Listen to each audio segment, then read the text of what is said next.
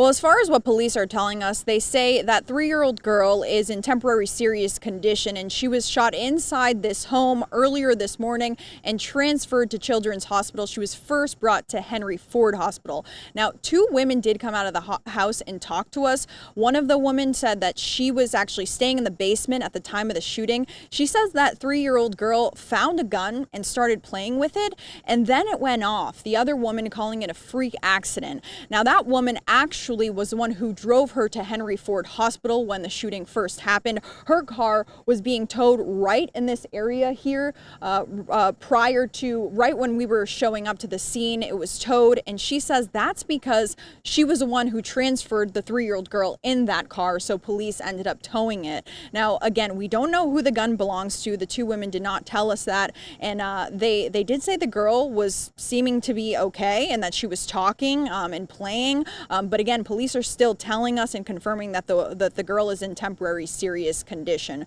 So again, one of those situations where a child gets their hand on a gun and then bad things happen. We've seen that happen all over Detroit. Very concerning trend, but again, this is a developing story. We're still learning more details and we're hoping that girl is going to be okay.